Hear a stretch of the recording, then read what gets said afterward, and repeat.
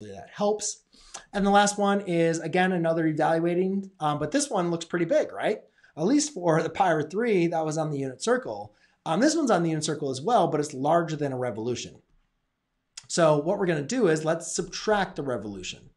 So a revolution in terms of thirds would be 6 pi over 3. So 14 pi over 3 minus 6 pi over 3. Now again, 6 pi over 3 is going all the way around the unit circle, right? So no matter what my angle is, right? If I go 6 pi over 3, if I subtract 6 pi over 3, that's going to take me to exactly where I started. So when I subtract 6 pi over 3, that's going to take me to a tangent of, let's see, that's going to be um, 8 pi over 3. Well, guess what? I can do this again, right? I can subtract another revolution of 6 pi over 3. So that's exactly what I'm going to do. I'm going to do, again, tangent of 8 pi over 3 minus another revolution of 6 pi over 3.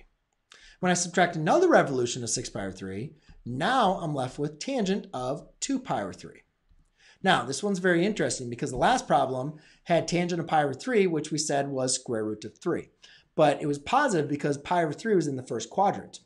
Well, now 2 pi over 3 is going to have the same reference angle, which is pi over 3, but it's in the second quadrant. Therefore, it's going to be negative.